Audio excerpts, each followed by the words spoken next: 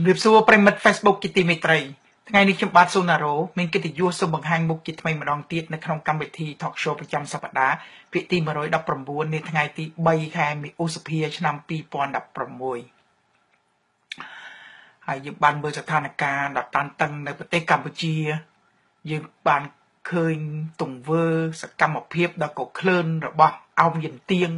មនុស្សគឺថាមុខក្រាស់ ចេញមកធ្វើសកម្មភាពយ៉ាងពឹសពុលក្នុងគំនិតទុច្ចរិតដើម្បីបំផ្លាញអ្នកដឹកនាំគណៈបពប្រឆាំងដើម្បីបំផ្លាញសង្គមស៊ីវិលដោយយោងទាំងពាក្យគេហៅថាច្បាប់ច្បាប់ច្បាប់ច្បាប់ក៏ប៉ុន្តែធៀបពិតគឺច្បាប់ក្រនក្រែជារនាំងជាឧបករណ៍មួយ សម្រាប់ក្នុងការកំទេចគេថាក្រុមអ្នកប្រឆាំងតែប៉ុណ្ណោះ ក្នុង talk show ដ៏យូរមកហើយខ្ញុំធ្លាប់បាននិយាយអំពីបញ្ហា ច្បាប់ប្រឆាំងអំពើពុករលួយនេះ ហើយតាំងពីពេលនៅប្រទេសកម្ពុជាម្លេះក្នុងនាមជាសាស្ត្រាចារ្យបង្រៀនថ្នាក់អនុបណ្ឌិតថ្នាក់បរិញ្ញាបត្រខ្ញុំបានជម្រាបនិស្សិតយើងជាច្រើន អំពីគោលដៅនៃច្បាប់ប្រឆាំងអំពើពុករលួយនេះ គឺជាច្បាប់អាក្រក់ជាទីបំផុតបាទ ច្បាប់នេះអាក្រក់ណាស់ច្បាប់នេះសហគមន៍អន្តរជាតិទឿនជំរុញឲ្យរដ្ឋាភិបាលហ៊ុនសែនធ្វើច្បាប់នេះតាំងពីយូរណាស់មកហើយតាំងពីក្រោយហៅថាការបង្កើតរដ្ឋាភិបាលអាណត្តិទី1មកម្លេះក៏ប៉ុន្តែពួកគេនៅតែពន្យាពន្យាពេលរហូតដល់ពេលណាមួយ ដែលគេសម្រេចគោលដៅរបស់គេហើយបានគេបង្កើតច្បាប់ប្រឆាំងពុករលួយនេះឡើង ច្បាប់ប្រឆាំងពុករលួយបង្កើតឡើងតាំងពីឆ្នាំ2010ហេតុអ្វីកើត2010មិនកើតឆ្នាំ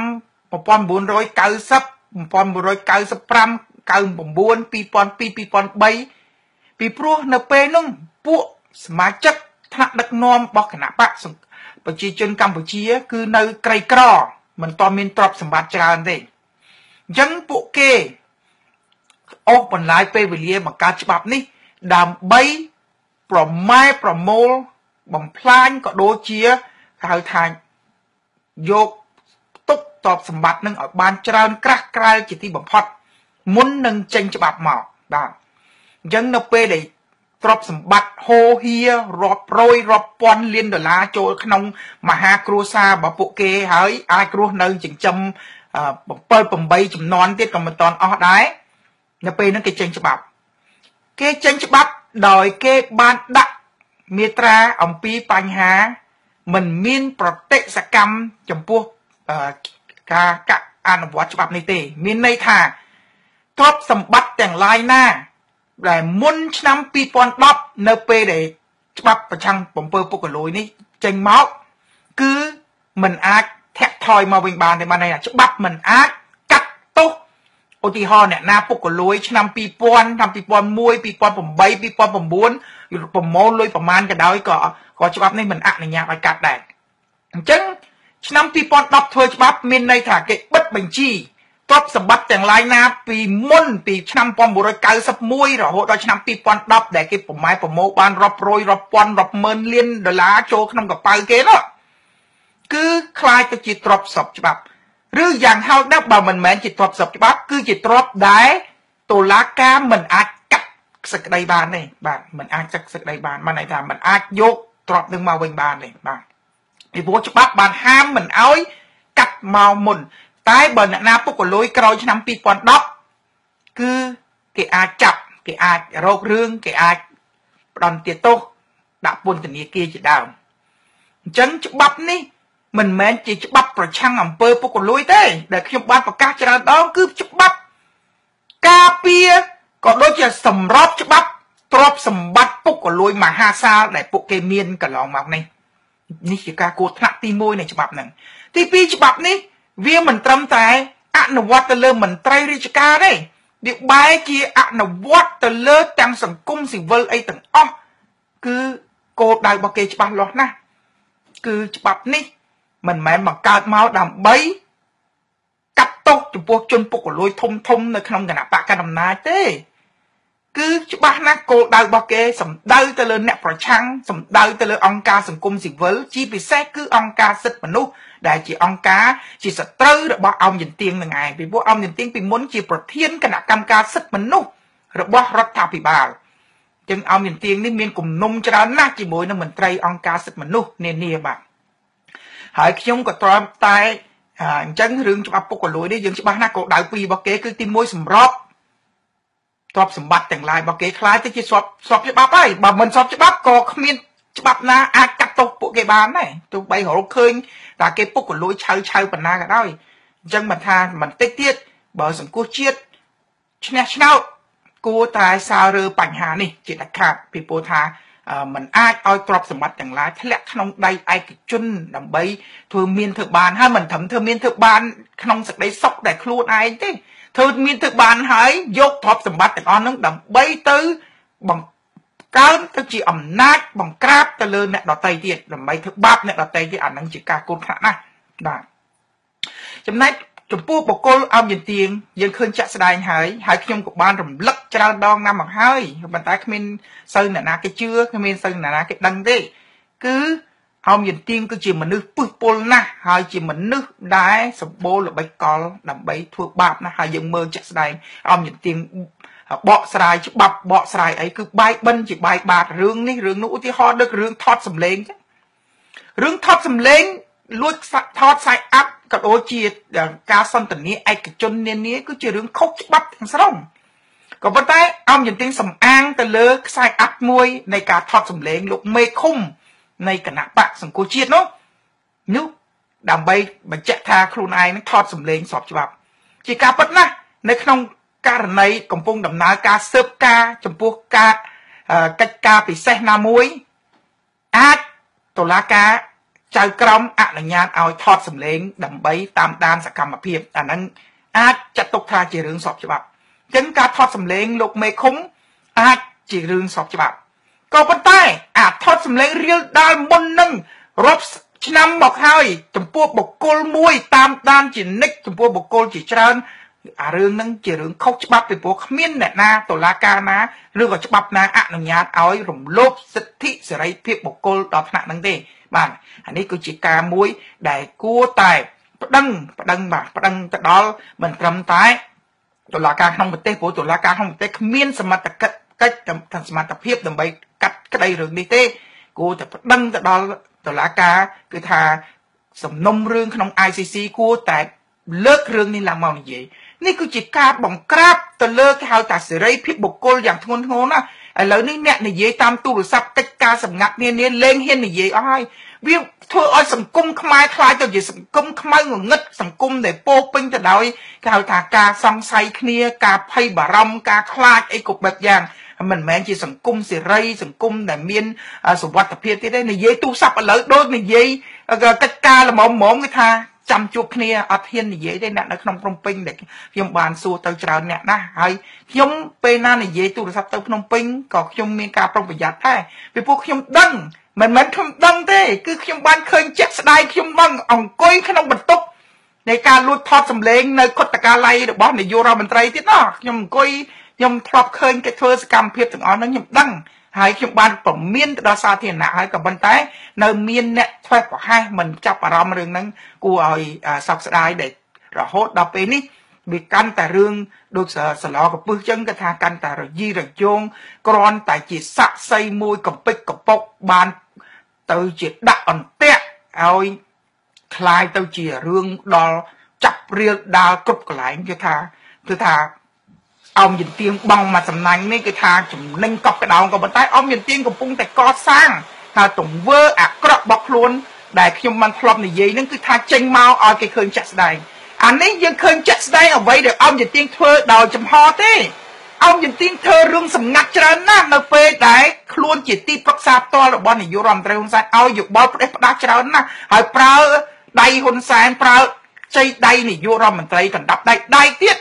ដើម្បីបង្ក្រាបសង្គមដើម្បីទាញយកអំណាចផ្ទាល់ខ្លួនរបស់ខ្លួន ជាពិសេសគឺអំណាចទៅលើប្រព័ន្ធតុលាការឲ្យមានទាញគឺថាអុកក្លុកក្នុងតុលាការសម្បើមណាស់ដើម្បីក្ក្តោបក្តាប់អំណាចតុលាការហើយតុលាការលើអំយទៀងភ័យតក់ស្លុតខ្លាចជាទីបំផុតគឺថាអ្នកណាក៏ខ្លាចដែរខ្លាចឡើងញ័រឥឡូវនេះមន្ត្រីរាជការនានាគឺក៏ឬក៏សង្គមស៊ីវិលឬស្អីស្អីនោះមួយមួយឃើញអំយទៀងដូចឃើញយមរាជចឹង ចឹងយើងទាំងអស់គ្នាត្រូវប្រុងប្រយ័ត្នបុគ្គលនេះជាមួយនឹងបកសុខុនស្អីហ្នឹងសិតតែមនុស្សពុះពលណាស់បរិលេងពីក្រួយខ្នងអត់ដែរលេងពីមុខទេរហូតដល់ខ្ញុំធ្លាប់ឮមនុស្សម្នាក់ដែលធ្លាប់ស្គាល់អំយទៀងនេះនិយាយប្រាប់ខ្ញុំថាបើចាប់ដៃជាមួយអំយទៀងហើយដកដៃមកមើលមើលនៅសតគ្រប់ម្រាមដៃ5ឬអត់បាទជួនកាលបាត់អមម្រាមមួយក៏មិនដឹងដែរពីព្រោះមនុស្សពុះពលបាទពុះពលណាស់ចឹងហើយយើងគួរតែនាំគ្នាទាំងអស់គ្នាឯកោ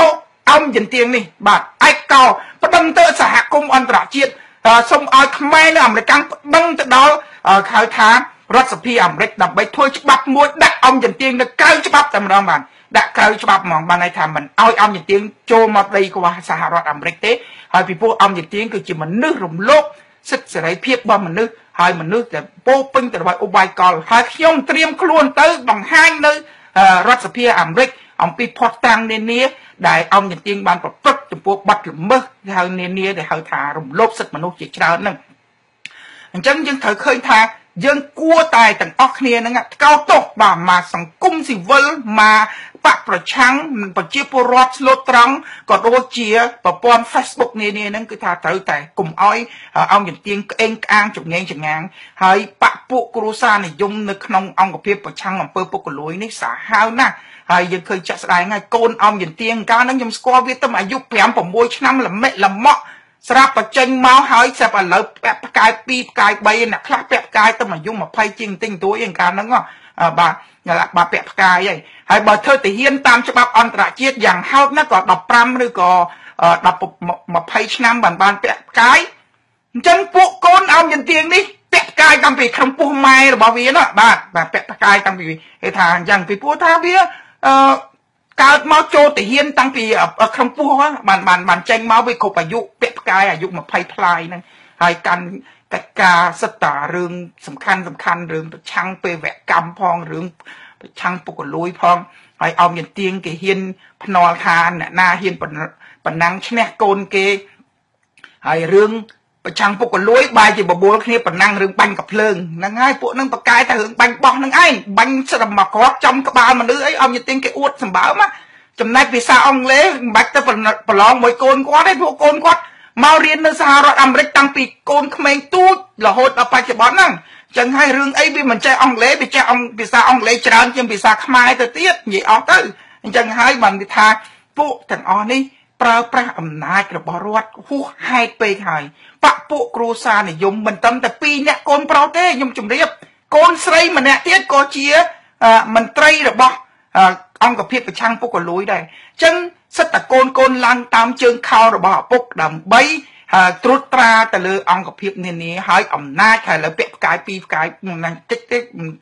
អឺផ្កាយ3ទៀតមិនដឹងទេពីព្រោះឥឡូវនេះខ្ញុំលេងចង់តាមដានហើយពួកនេះវា វាធ្វើអីស្រេចតែអំពើចិត្តយកច្បាប់មកជន់ឈ្លីហើយជាពិសេសថ្មីថ្មីបំផុតនេះគឺប្រឆាំងជាមួយនឹងមន្ត្រីអង្គការសិទ្ធិមនុស្សហេតុអ្វីពីព្រោះហ៊ុនអោមយន្ទៀងនេះគឺមានគំនុំជ្រាលជ្រៅណាស់ជាមួយនឹងមន្ត្រីសិទ្ធិមនុស្សពីព្រោះគាត់ធ្លាប់ធ្វើជាមន្ត្រីសិទ្ធិមនុស្សរបស់អង្គការសហហៅគណៈកម្មការសិទ្ធិមនុស្សរដ្ឋាភិបាលហើយគណៈកម្មការនេះកាន់ជើងការពីរដ្ឋាភិបាល ហើយប្រឆាំងជាមួយនឹងសង្គមស៊ីវិលនានាអញ្ចឹងហើយឥឡូវនេះជាឱកាសដើម្បីគាត់សងសឹកបាទគាត់សងសឹកគាត់ចាប់ហើយគាត់ចាប់នេះគាត់ភ្លេចភ្លេចអំពីហៅថាក្នុងអន្តរជាតិគេមានច្បាប់មួយគេហៅថា UN Declaration បាទ on Human Rights Defenders មានន័យថាសេចក្តីប្រកាសសេចក្តីថ្លែងការណ៍របស់អង្គការសហប្រជាជាតិអំពី ការការពារចំពោះអ្នកដែលការពារសិទ្ធិមនុស្សគេមានច្បាប់ដើម្បីការពារអ្នកការពារសិទ្ធិមនុស្សមានន័យថាអ្នកការពារសិទ្ធិមនុស្សគឺជាអ្នកដែលធ្វើសកម្មភាពដើម្បីជួយលើកស្ទួយកិច្ចការសិទ្ធិមនុស្សនៅប្រទេសទាំងអស់នោះរាប់ទាំងមានវិជ្ជាជីវៈឬគ្មានវិជ្ជាជីវៈក៏គេចាត់ទុកថាជាអ្នកធ្វើកិច្ចការសិទ្ធិមនុស្សឧទាហរណ៍ដូចទេវនីឬក៏អ្នកបង្កក់ទោះបីគាត់មិនមែនជាធ្វើការសកម្មភាព ដើម្បីសិទ្ធិមនុស្សនឹងក្នុងនាមជាវិជាជីវៈដូចសមាគមអាតហុកដូចលីកាដូឬក៏ស្អីទេ តែគាត់ធ្វើសកម្មភាពដើម្បីលើកកម្ពស់ជំរុញនៃការការពារសិទ្ធិមនុស្សអញ្ចឹងក៏ចាត់ទុកថាជា activist បានន័យថាជាសកម្មជននៃសិទ្ធិមនុស្សដែរដែលក្រមច្បាប់របស់ UN គឺត្រូវតែបានការពារដែរ តែអំយន្ទៀងបំពេញទាំងអស់ពីពួកអំយន្ទៀងរកបានលេះនេះលេះនោះបន្តិចបន្តួចបាទមកថាបើថាគួរអាណិតអ្នកប្រឆាំងនៅស្រុកខ្មែរយើងណាគឺខុសអីបន្តិចក៏ដោយគឺគេចាប់ក្រឹបតែម្ដង ចំណែកពួកគេខុសប្រពន្ធមេឃក៏អោមយទៀងមើលមិនឃើញពីពួកអោមយទៀងពាក់តែវ៉ាន់តាមើលឃើញតែបកប្រឆាំងនេះបាទហើយឬក៏មើលឃើញតែអ្នកណាប្រឆាំងនៅក្នុងបករបស់ខ្លួនតែប៉ុណ្ណោះមានន័យថាយ៉ាងម៉េច ក៏ក៏ឡងមកភាកច្រើនអោមយទៀងចាប់មន្ត្រីជាន់ខ្ពស់មួយចំនួនដើម្បីហៅថាធ្វើទៅជាករណីថាខ្លួននឹងវាប្រឆាំងពុកលួយក្នុងបកប្រជាជន តែសិតតែជាក្រុមមិនមែនក្រុមរបស់ខ្លួនសិតតែក្រុមបកពួកដតីទៀតប្រឆាំងដើម្បីបង្ក្រាបអ្នកប្រឆាំងក្នុងបករបស់ខ្លួន ហើយករណីដូចជាដំសនីនានាអញ្ចឹងណាសិតតែខ្សែបកពួកដតី ហើយឬក៏លើកសិទ្ធឌីណាអញ្ចឹងគឺ CPP មែនពេលគាត់ថា CPP ប្រភពចេញមកពីកន្លែងផ្សេងទេតែមិនចូលមក CPP ទេឥឡូវគេមានឱកាសបន្ទាប់គេគេប្រើប្រាស់អស់តម្លៃហើយគឺគេចាប់ដើមហៅថាកវត្តចោលតែម្ដងបាទអញ្ចឹងក្នុងរឿងនេះយើងក្រុមសង្គមស៊ីវិលក៏ដូចជាក្រុមប្រឆាំងប្រជាពលរដ្ឋខ្មែរទាំងអស់ប្រព័ន្ធ Facebook ប្រព័ន្ធអីត្រូវតែកោតទោសយ៉ាងធ្ងន់ធ្ងរដើម្បី ប្រឆាំងជាមួយនឹងអោមយន្ទៀងនេះហើយដែលអោមយន្ទៀងនេះហើយដែលនាំឲ្យហ៊ុនសែនធ្វើអំពើផ្ដេសផ្ដាស់ជាច្រើនហើយហ៊ុនសែនជានិច្ចការចាញ់បោកក៏ដូចជាធ្វើតាមគេហៅថាកំល្បិចកលរបស់អោមយន្ទៀងនេះអញ្ចឹងហើយបានហ៊ុនសែនឥឡូវនេះคล้ายទៅជាជនដែលកំពុងតែត្រូវបានប្រជាពលរដ្ឋខ្មែរធ្វើការថ្កោលទោសអំពីអំណាចផ្ដាច់ការបពពួកគ្រួសារនិយមមិនចាញ់អោមយន្ទៀងនោះទេបាទអញ្ ចឹងហើយមិនថាគ្រូណាសិស្សនឹងយើងឃើញចាក់ស្ដែងអញ្ចឹងហើយឥឡូវនេះចាប់ផ្ដើមគេឈានទៅដល់នៃការរោគរឿងទៅដល់លោកកឹមសុខាទៀតដោយការចេញដីកាកោះហៅឲ្យទៅតុលាការហើយតាមយោបល់របស់ខ្ញុំខ្ញុំថាលោកកឹមសុខាគួរតែធ្វើលិខិតទៅតុលាការស្នើឲ្យតុលាការដកអភ័យឯកសិទ្ធិរបស់គាត់មុនពេលដែលធ្វើការស៊ើបសួរឬក៏ធ្វើការជំរុញចំពោះករណីណាមួយពីព្រោះថាអភ័យឯកសិទ្ធិរដ្ឋសភាមាន ហើយបើសិនជាចិត្តតែរំលោភម្ដងមួយហើយម្ដងមួយទៀតហើយខ្ញុំសូមប្រមានចំពោះតំណាងរាជគណៈបកប្រជាជនកម្ពុជាព្រមានត្រង់ថាបើយើងលេងតែលបែងចាក់ចងរបៀបកៅថាបាត់ល្មើសចាក់ស្ដែងដល់វាមិនចាក់ស្ដែងនេះគង់តែថ្ងៃណាមួយបើគណៈបកប្រជាជនទៅជាបកប្រឆាំងវិញ អាចត្រូវគេលេងលបែងនឹងវិញអានឹងគ្រោះថ្នាក់ដល់ខ្លួនឯងអញ្ចឹងហើយកុំអោយបើកគេហៅថាសមរភូមិលេងតាមរបៀបចាប់ឆៅអ្នកតំណាងរាហើយហើយយកថាច្បាប់បទល្មើសជាក់ស្ដែងនេះវាអត់ជាក់ស្ដែងតតែសោះអារឿងគេនិយាយចង់កន្លះឆ្នាំមុនហើយមកថាបទល្មើសជាក់ស្ដែងឥឡូវវាអត់ទៅរួចទេបាទវារឿងគេប្រព្រឹត្តគឺប្រមាណប្រមាណពេល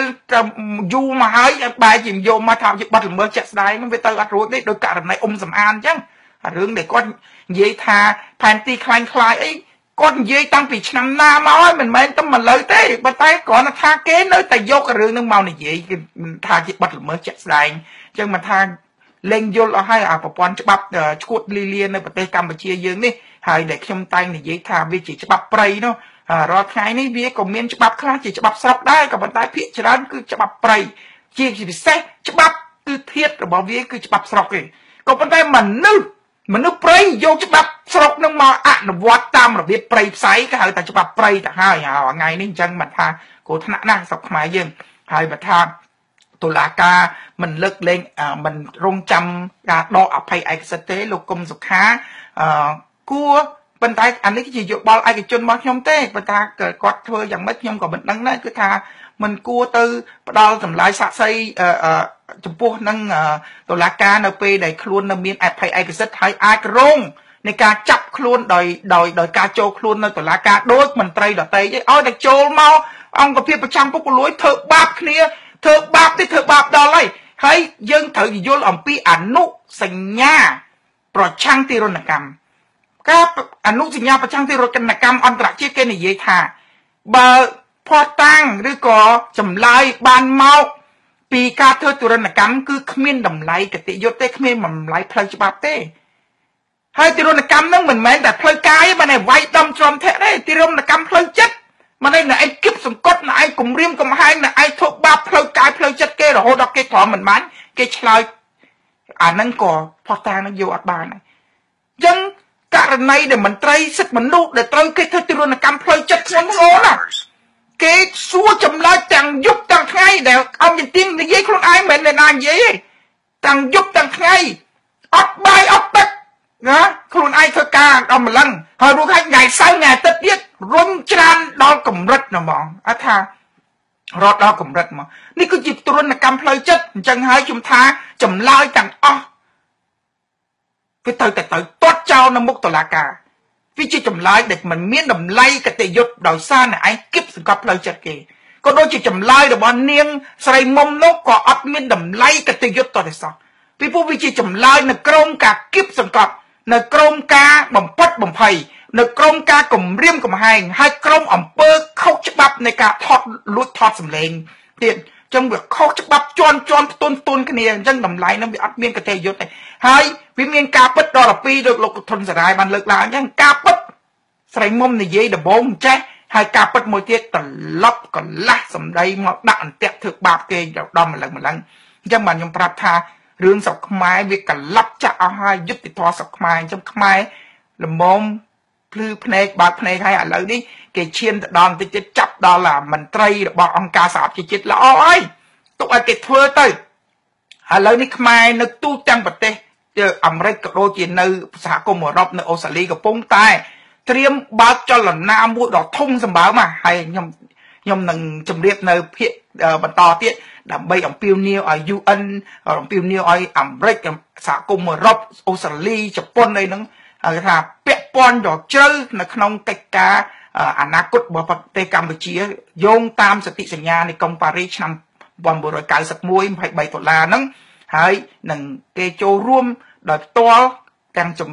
នួយហេរញ្ញវត្ថុទាំងបច្ចេកទេសទាំងមន្ត្រីកម្លាំងធនធានមនុស្សនានាដើម្បីជំរុញឲ្យមានការបោះឆ្នោតដោយសេរីត្រឹមត្រូវហើយបើបោះឆ្នោតដោយសេរីត្រឹមត្រូវហើយគឺថាគឺចប់ហើយ ពួក